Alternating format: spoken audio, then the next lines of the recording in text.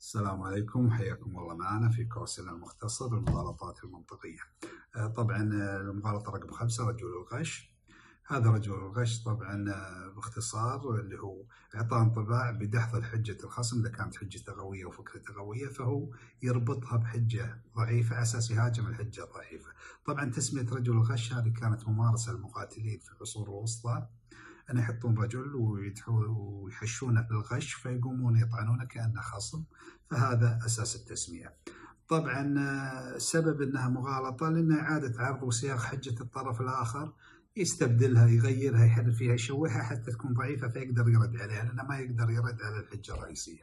طبعا من الأمثلة مثلا عندنا كان مثال أن أحد الانتخابات الأمريكية واحد اسمه ليندون جونسون عام 1964 هذا كان الموضوع. كتب إن أو صرح إن التصويت الجولد ووتر اللي هو منافسه هو تصويت الحرب النووية.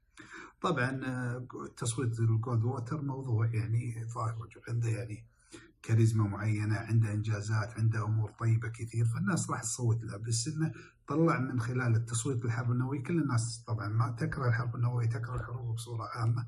فعشان يطعن في انتصار الرجل فتكلم إن هذا من راح يجيب حرب نووية لكم. فنفس الطريقة في مثال مثلا المطالبه بدعم الامهات والمطلقات ومطالبه مطالبة بأن تنال بعض العاطلات ما لم يناله مواطنون شرفاء يعملون بكدهم وعرقهم. طبعا المطالبة بدعم الامهات والمطلقات اللي محتاجات هذا شيء طيب وشيء جيد.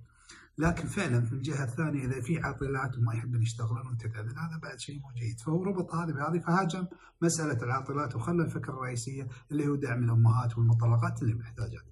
طبعا الرد عليها أن توضيح انها أن يجب الرد على الموضوع الرئيسي وليس ربطه بمسلمات ليست لها علاقة. يعني هذا باختصار يكون ردك وان توضح لنا هذه مخالطة وشكرا.